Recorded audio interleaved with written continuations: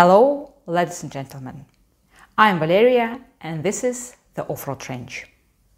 So, I changed my place of residence from a cozy apartment with all the benefits of civilization to the wild.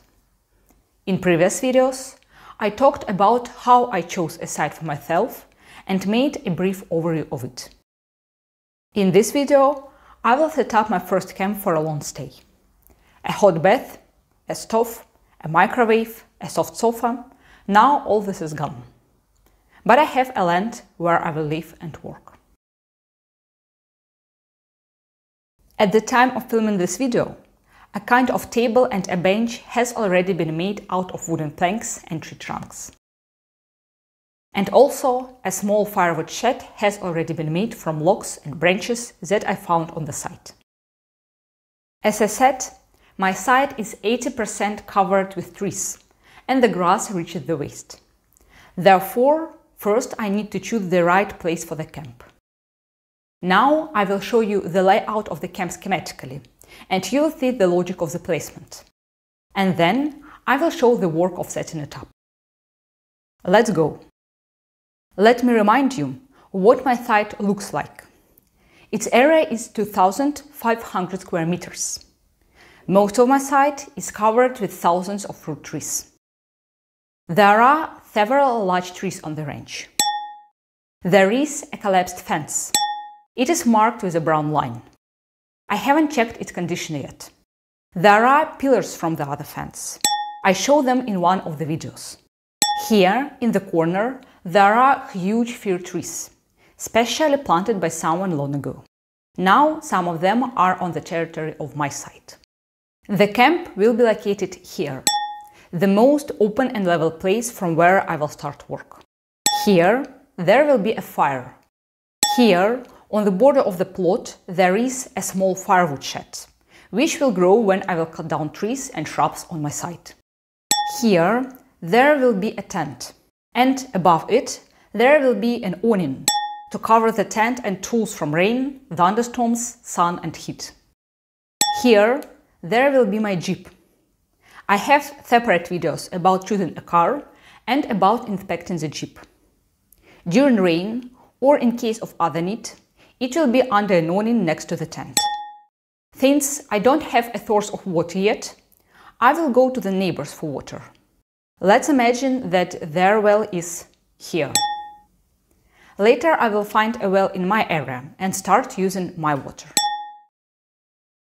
I also need to find a place for a makeshift supply of provisions, which I will dig out to store food. And there will be a plastic shower and a plastic toilet when I buy them. I also plan to purchase solar panels, if I have the resources. If I have them, then I will determine a place for them later and show you. Let's start work. As I told, first I freed the site from large branches. Then, in a few days, I mowed a small piece of land with a machete. I took the rake from a neighbor.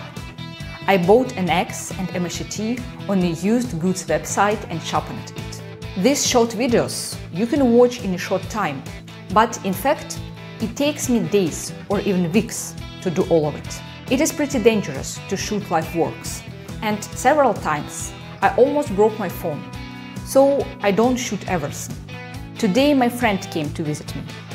She came to take a break from the city on her day off. She became interested in what I do and how I live, and she helped me in filming the video.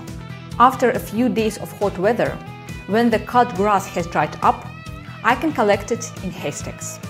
After that, I can set up the tent evenly, securely and stably. I will place some of the tree heck under the tent, so it is warmer and softer to sleep.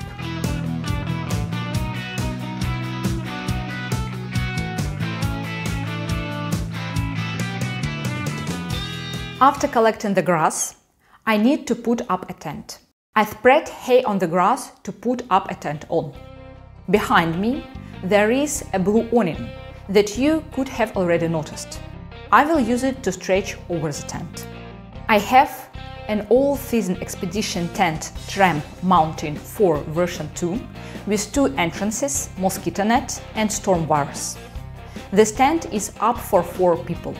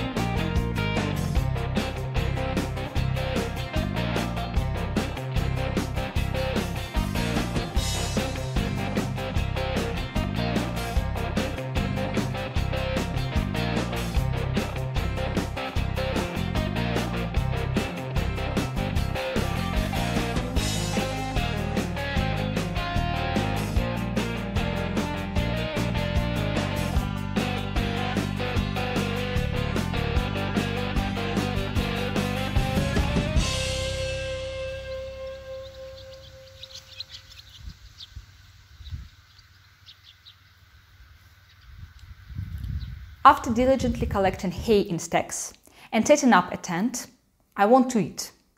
And the day is coming to an end. Therefore, the end of my day is making a fire and cooking dinner. And summing up the results.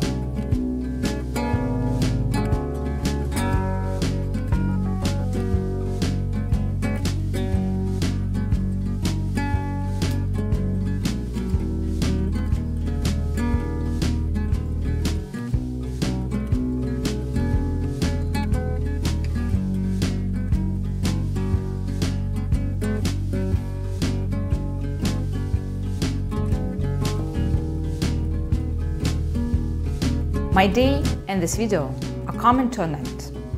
You can see plastic bottles that hang on a tree. I use them for technical water.